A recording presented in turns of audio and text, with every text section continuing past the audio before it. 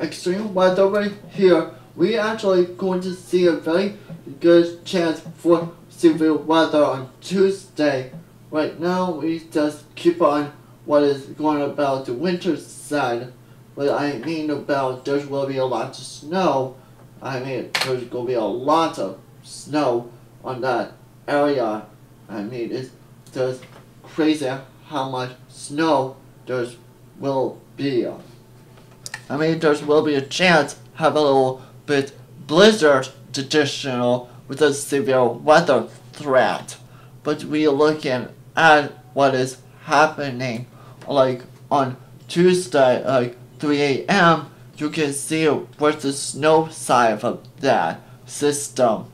You can see there will be a, a really good chance on severe threat on Tuesday, but it actually start round least around 1 a.m.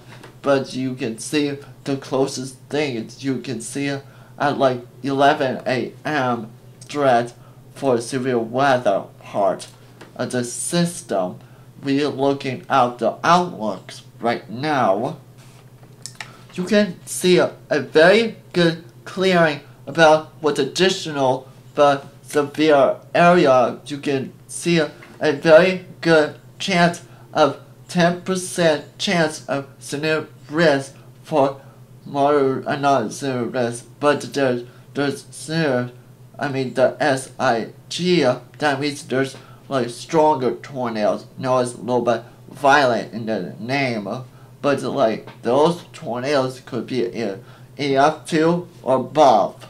Just let you know about that part. To see what is going on about those threats, just I want to let you know, but about the 10 tornado potentials I will show you right now you can see what's a good chance at right now at 8 p.m. for 20 hours, but there's not a lot of storms. But when we get to around like noon, around midnight at 2 a.m., there's a little bit chance for tornadoes. But a bigger chance for around tomorrow, around 11, but around 7 a.m for this run, but back to like one hour ago, you can see a, very good deal where that noon will be set up.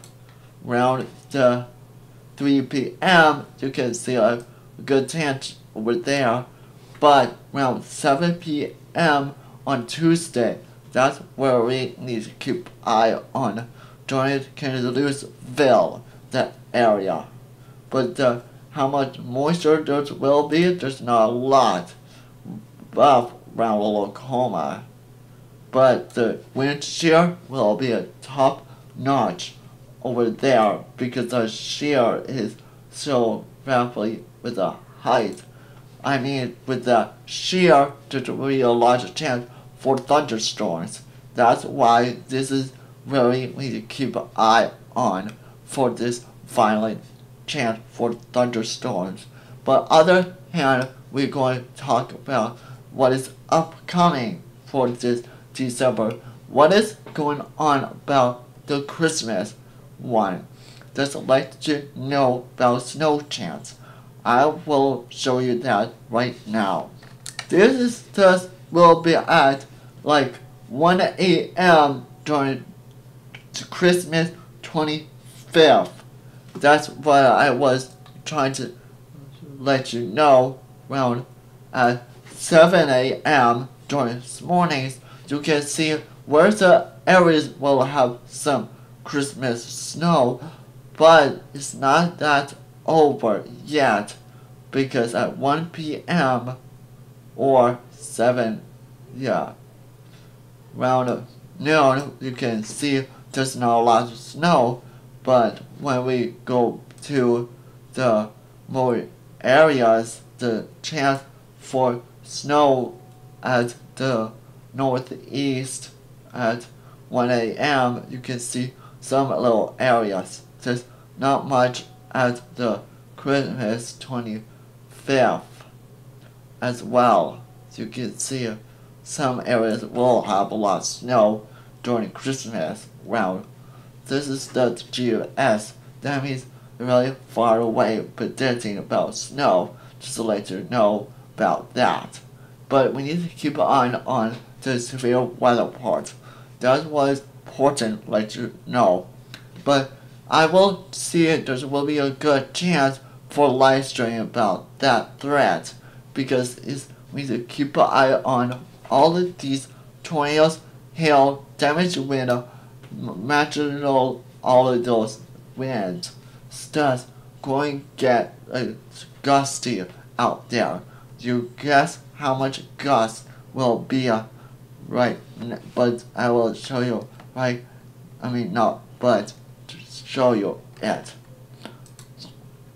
But let me go back to the NAM about the gust will be the maxing out.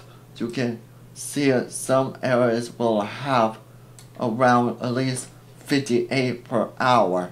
Let me do get the state of Oklahoma to show you how much gusty there. You can see around some areas will be a, very strong gust because we'll be around 56 I mean some areas some areas only will be around 40s or above that big area we need to keep out for the damage wind threat at 1 p.m. but not thunderstorms but there will be strong wind gusts in that region we need to let you know about that that's why I'm always here to, to support about what is happening because we need to keep eye on about all of these threats for thunderstorm, damage to wind, all of it because this is a very strong December like December 21st